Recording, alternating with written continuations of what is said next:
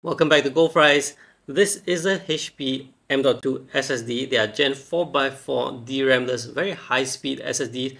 And as you can see, there's no introduction video because I'm not going to crack my brain thinking of fancy B-rolls for this. So without further ado, let's, let's go into the details of this product. So here it is, the product itself. As you can see, it comes with the M.2 screw. Just in case you lose yours, you have it with the drive itself. And this is what the drive looks like very simple. And for the test I'm using the ASRock B650E Steel Legend Wi-Fi motherboard with an AMD Ryzen 9 7900 and for the benchmarks what I'm expecting is to see it hit the rated up to speed. And here is the benchmark result of which you can see that it actually not only hits but it goes beyond the rated up to speed which is very good and all of them operated under a very respectable temperature of 45 degrees Celsius which is very good. As for each of the model here, this is the price in Malaysian ringgits. Of course, I do not have the price in US dollars. This one, these models are now in Malaysia and those are the price.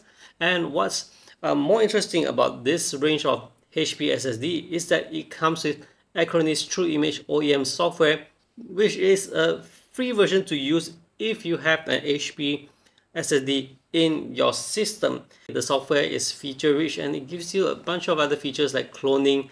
Being an, an HP drive owner, you get to purchase the full version and it's of course a different name. As long as you have the HP drive on your system, you get to use that software. Acronis True Image is the previous name while the current name is as what you see on screen which I don't remember but that's the name it is.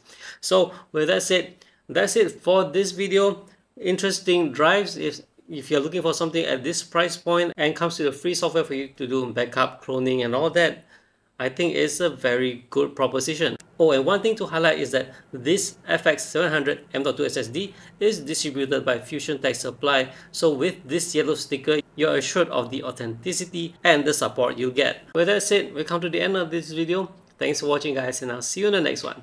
Bye bye.